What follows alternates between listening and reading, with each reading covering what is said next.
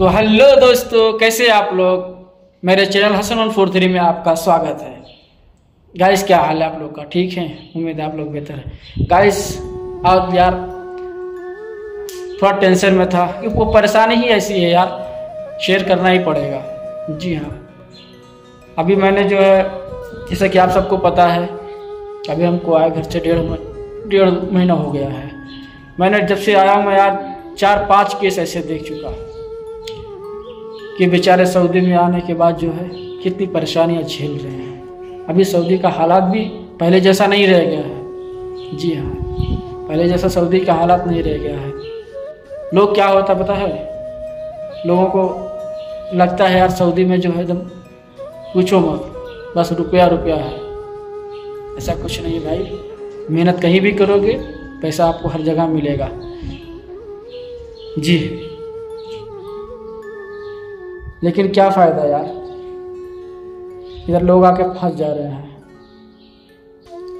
अभी मैं एक दो से बात कर रहा था। उसने बताया, यार भाई, मुझे किसी और काम में बुलाया गया और ला इधर फंसा दिया गया। बोला, आपको जो है काम करना घर खाते में और इधर ला के लगा दिया मजरे में। उधर क्या है पता है? बरसिंग। बरसिंग है, और मुर्गी है, खजूर है, खजूर के पेड़। जी, और ऊँट भी है। पगार कितना है? ग्यारह सौ रुपया। चौदह सौ पे बात किया, ग्यारह सौ रुपया मिल रहा है। आप सोचो, अगर आपके साथ में अगर ऐसा हो तो आपको कैसा लगेगा यार? कि चौदह सौ बोल के ग्यारह सौ पगार दे रहा है, जो काम बोला था, वो काम नहीं, दूसरा काम आज जो है कर रहा है बंदा यार। या सऊदी करवा रहा है उससे। तो उसमें गलती किसकी है? आप गलती हमारी दोगे? या गलती एजेंट की दोगे? या गलती सऊदी की दोगे? अगर हम आपको नहीं बुलाते हैं तो आप बोलते हो, आप वीज़ा नहीं देता है यार, उधर इतना साल से रहता है, किसी के बारे में अच्छा नहीं सोचता है। अगर हम आपको बारे में अच्छा सोचे, हमने आपको वीज़ा दे दिया हमारे पास है और इधर आके फंस गए तो बोलोगे, यही जानबूझ के फंसा दिया यार ना बुलाओ तो भी बुराई, और बुला लो आने के बाद फंस गया तो भी बुराई बुराई पैदा हो जाती है। अब बताओ आप क्या करें कोई यार? हर कोई चाहता यार कि अपना बंदा जो है, आए इधर दो पैसा कमाए। जैसे हम कमा रहे वो भी आके दो पैसा कमाए। लेकिन आने के बाद क्या पता, नसीब क्या होता है। किसी और काम में बुला के किसी और काम में लगा देते हैं सऊदी लोग। अक्सर ये होता है यार। चलो, हमारे पास नहीं हमने एजेंट से बात किया, एजेंट के थ्रू जो ऑफ़िस के ऑफ़िस के थ्रू आपको वीज़ा दिला दिया। वो बोला कि बारह सौ पगार है, ड्राइवरी करना है, या चौदह सौ पगार है, ड्राइवरी करना और इधर भेज दिया, चले आए पैसा लगा के अस्सी नब्बे हज़ार रुपये आगे। आने के बाद जो है इधर, ड्राइवरी का नामो निशान नहीं है। लगा दिया इस तरह में। बारह तेरह सौ पगार बोला था।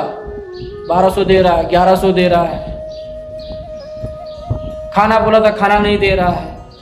अक्सर ये होता मैंने देखा है यार, अभी मैं आपको एक प्रूफ भी दिखाता हूँ। जी हाँ अभी कि एक बंदा है, उसको बुलाया गया किसी और काम में, एजेंट ने भेजा किसी और काम में। ये काम करना है, वीज़ा निकला किसी और काम का। बिल्डिंग के काम में आया था, और लगा दिया, उसको किधर पता है, घर बन रहा है हाउस बन रहा है। बेचारा रो रहा है।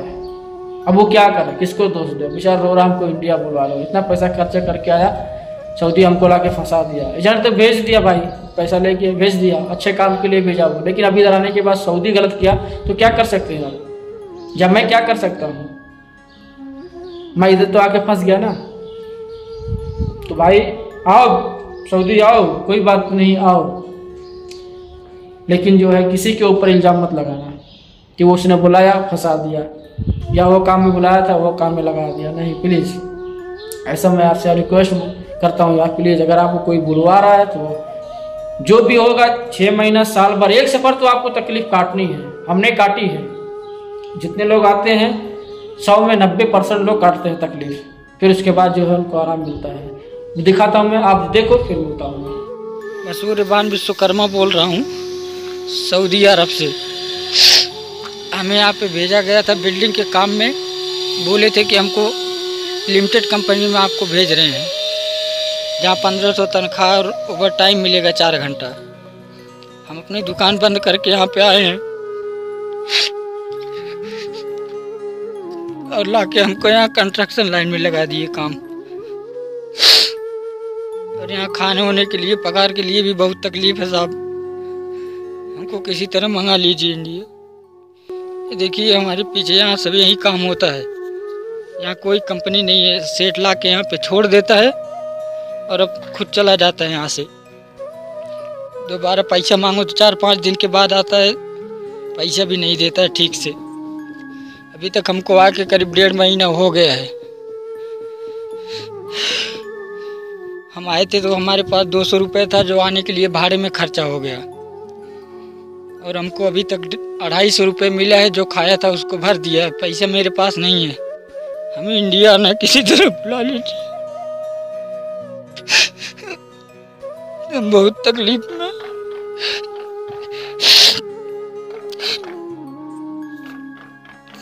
तो गाइस देखा आपने बेचारा किस तरह से रो रहा है जी हाँ किस तरह से रो रहा है? क्यों रो रहा है? खाने के लिए पैसा नहीं है। डेढ़ महीना काम किया, ढाई सौ रियाल उसको मिला। ढाई सौ में क्या खाएगा? एक महीने का कितना कम? तीन सौ रुपया खाने के लिए आता है। वो ढाई सौ में डेढ़ महीना खाएगा? घर पे कोई और नहीं है? माँ बाप, भाई बहन, कोई नहीं है। बहुत तकलीफ़ होती है यार। लोग बोलते हैं, बस खाली, यार सऊदी चलो, सऊदी। ठीक है, सऊदी आओ, बड़ी बात नहीं, सऊदी कुवैत कतर कहीं भी जाओ दुनिया किसी भी कंट्री में जाओ, लेकिन हुनर साथ में लेके जाओ। एक मैं आपसे यही बोलूँगा, हुनर साथ में लेके जाओ। ठीक है, हुनर है तो कोई टेंशन नहीं। गाइज़ अगर आपको मेरा वीडियो अच्छा लगा है तो प्लीज़ लाइक करें शेयर करें सब्सक्राइब करें। फिर मिलते हैं किसी नेक्स्ट वीडियो में, तब तक के लिए जय हिंद।